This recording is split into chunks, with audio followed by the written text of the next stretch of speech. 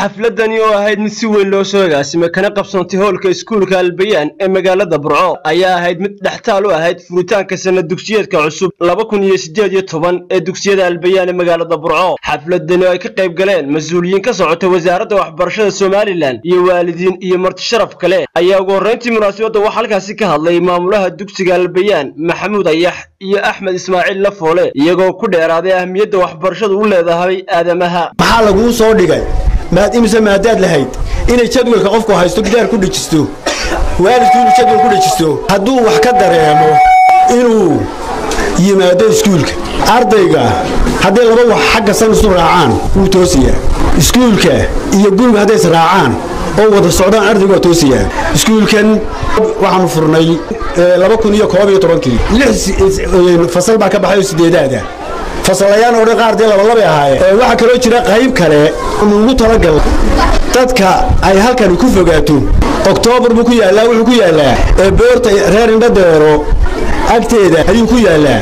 Waxaa loo doonayaa dee inaad iskuulka caawisaanoo camirtaanoo aad geysaan carruurta.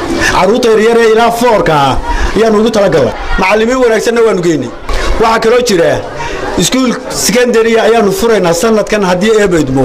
Annagu waxaan doonnaa macallin ilaa lix maado isku mid ay u tahay. Waxbarashadu waa karaamada qofka inuu mustaqbal yeesho. Waxbarashadu waa waxa dhashay injineerka. Inoo dhisa masaajidada iyo guryaha. Waxbarashadu waa waxa dhasha dhakhtarka. Waxbarashadu waa waxa dhasha macallinka.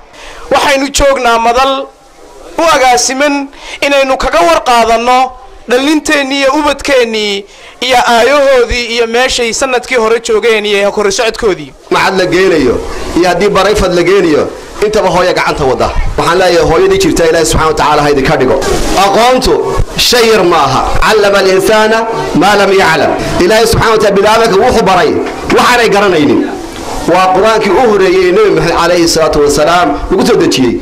Geesta kale waxaa halkaasi ka hadlay qaar ka mid ah waalidiinta ardaydoodu dhigato iskuulkani waxaana yidhaahdeen sannadkii ay waxbarayeen ardayda. In ay waalidka u soo bandhigaan ardaydoodii xeerka ay joogaan. Waalid marka la leeyahay dee waalidka iminka horta la sheegaya ee carruurta daba socda waa hooyada annaga odayaashii si baanu waxbaa naga yarsiiyahe waxaanu idin leenahay. Hooyay dadaala.